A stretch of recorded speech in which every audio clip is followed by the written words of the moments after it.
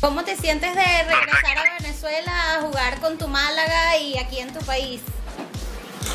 No, la verdad que bastante contento. Lo había dicho antes que para mí pues es un, es un orgullo ir a Venezuela, jugar con, con los equipos de, de allí que, que nada, que conozcan al, al nuevo emoción no en Europa, sino en, en Sudamérica, ¿no? Y más en Venezuela, como, Bueno, porque estando en Venezuela aquí la gente tiene mucho el fútbol español, no solo mi persona, sino de mí también, amarillista, etcétera, etcétera, pero bueno, para mí es un orgullo disputar los partidos aquí, estar con mi, con mi gente, de, llevar a los compañeros aquí, que allá son considerados estrellas, aquí tenemos jugadores eh, mundialistas, jugadores de selección, así que será un, un evento muy, muy bonito para todos. Claro, es así. y Nosotros estamos muy emocionados también de tenerte aquí. Cuéntanos, Salomón, en el fútbol, ¿qué es lo más importante para ti? En el punto para mí es lo más importante es la disciplina, el sacrificio, la humildad y la responsabilidad que tienes a, a tener una profesión como esta, que es bastante difícil y es una profesión muy complicada. Entonces tienes que, que estar bien centrado y enfocado para tener una, una. Claro, no es fácil, pero nos estás dejando el nombre de Venezuela en alto. Y ahora cuéntanos, ¿cómo se siente lograr el sueño de ir a una Champions? Ah, el sueño para irme a Champions es, es grande, ¿no? uno como niño. Por lo menos yo estaba en mi casa viendo ese torneo continental aquí en Europa y la gente pues muy emocionada y contenta de lo, de, lo que se vive en esta competición. ¿no? Yo como niño pues soñaba con, con llegar a jugar esa competición y ahora gracias a Dios de momento he conseguido clasificar a, con, con el equipo a, la Champions y bueno, también sería un privilegio y un honor jugar la Champions y poder hacer algo la liga. Claro. Mira, y una pregunta. ¿Sacarías nuestra bandera venezolana cuando anotes un gol? Lo difícil es cuando uno hace un gol celebrar con la bandera, ¿no? Cuando se llega al final de, de, de todo el torneo, que quedas campeón, lo mejor es sacar la bandera y, y celebrar punto lo, punto lo alto. Pero uno cuando hace un gol no, no suele sacar la bandera de Venezuela. Pero la lleva... venezolano y eso ya es una etiqueta para uno, ¿no? Positivamente hablando,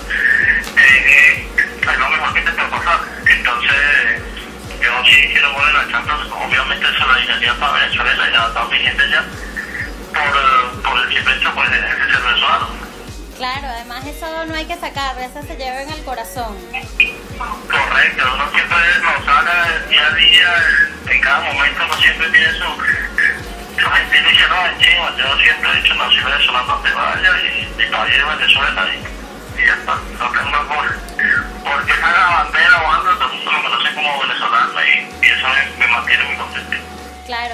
qué es lo que más extrañas de Venezuela? Bueno, se trae la familia, la gente, los amigos, la comida, pues hay que es bastante difícil, ¿no? Estar por aquí, la gente por allá. Pero esto es lo que uno, como jugador, pues, escogió, como profesión, fue lo que yo escogí. Y nada, yo estoy bastante contento con mi profesión, conozco eh, varios países gracias a esto, gracias a la un poco de todo, ¿no? Tiene que, que estar consciente de que no todo se puede tener en la vida, pero gracias a la tecnología de hoy en día, pues, puedo contactar con mi familia en cada momento y hablar con ellos a cada momento, así que por ahí más o menos me mantengo, me mantengo bastante, eh, vamos a decir, eh, alegre y triste porque, nada, triste porque no los tengo cerca y alegre porque puedo hablar con ellos los. Mira, ¿y qué vas a hacer? ¿Qué va a ser lo primerito que te vas a comer en lo que llegues a Venezuela? No, no le no, no pongo mejor, eso no te pregunta, no le nada pequeño, nada más estaba. Porque estas cosas aquí no, no suele haber, ¿no? Entonces, Sí. aquí lo que sí hay es harina pan y por allí te puedes hacer algo, No es lo mismo. si fuese una, una carabata allá en, en, en tu casa, tu gente, la jaleba, la comida de, de, la, de la familia, o sea, eh, es difícil, pero yo aquí, o sea, tengo mi, a mi señora que me cocina, ella cocina muy, muy bien, pero uno siempre está en lo que puede ser. Claro. Mira, ¿y cómo están esos ánimos para los encuentros amistosos aquí en Venezuela? El 27 con el Zamora y el 29 con el Caracas.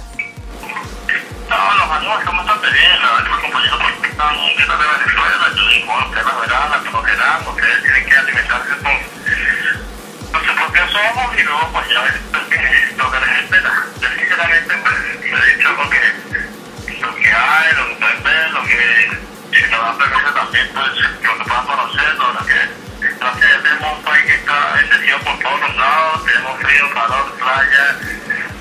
lo que queramos pues lo tenemos allí, así que nada, primero vamos a ver eh, cómo tocamos los partidos y luego ya un momento de claro. Chévere. Mira, en el 2007, tu primer partido en el Aragua contra el Caracas, marcaste dos goles que definieron el empate en menos de 10 minutos. ¿Crees que se repetirá un marcaje así? Bueno, no sé, vamos a ver, la verdad que, sabes que en el fútbol uno dice que todo es distinto, los partidos son distintos. Sí. Eh, yo fútbol distinto, entonces, nada, vamos a ver qué pasa. Yo, eh, en aquel tiempo, pues, era un juvenil, un sub que venía empujando bastante fuerte, así que, que bueno, vamos a ver qué pasa, veremos a ver qué sucede, así que sinceramente pues primero que nada de ir a Venezuela, que conozca el Atlético por, por Venezuela y, y nada, contento disputando partidos con esos equipos. Claro. Eres el mayor goleador que ha tenido el Málaga en sus últimas dos ligas. ¿Cómo te sientes con ese título y siendo representante de nuestro país en Europa con ese reto en tus manos? No, no, siempre se mantiene enfocado, no, no puede tener ningún margen de distracción porque la situación no, en el fútbol europeo pues es complicada, entonces tiene que mantenerse, tratar de, de seguir haciendo las cosas bien para que ir triunfando, y yo gracias a Dios pues en dos años he hecho las cosas bien y, y nada, espero seguir, seguir así, mantenerme y yo lo seguir triunfando con el equipo europeo. Así es. Seguirás triunfando. Y cuéntanos, ¿qué te mantiene motivado a cumplir todos esos sueños? Ah, mi, mi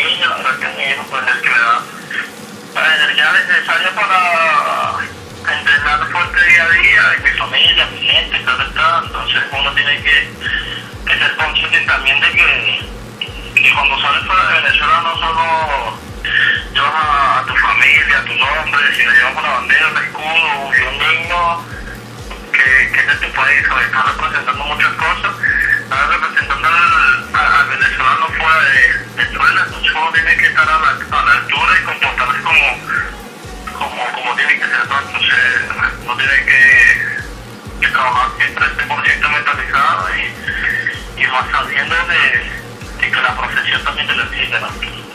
Claro, qué bonito. Y ahora, en el futuro, ¿qué metas dirías que te falta por lograr? No, yo la verdad que día a día pues me pongo metas diferentes y yo quiero pues seguir triunfando, seguir haciendo las cosas bien, llegar un, más lejos aún, ir por aquí por Europa, triunfar en, grandes clubes y nada, seguir haciendo goles, tanto para el equipo donde esté y para la selección, llegar al mundial de mayores sería el objetivo más, más claro y más y más que no solo para uno como jugador, sino para, para toda la gente de Venezuela y, y para todos los venezolanos, porque uno tiene esa ilusión de llegar a un mundial de mayores y pero poco a poco creo que se están haciendo las cosas bien para conseguirlo. Buenísimo. Entonces, ¿te ves en el 2014 marcando goles en Brasil? Ojalá Dios quiera, ojalá Dios nos dé esta oportunidad y nos bendiga a todos los venezolanos después de disfrutar un mundial en, en Brasil y nada, y lo que lo aprovechemos y tenemos todo eso aquí en tu mano y, y, y, y, conseguir el, el objetivo, yo creo que el material que hay en Venezuela y, el jugador venezolano que juega pues tiene esa, esa convicción ¿no? de, de que se puede llegar, de que se está trabajando bien y de sacar las cosas bien para conseguirlo. Claro. Bueno, y ahora por último, regálanos un saludito para Evenpro.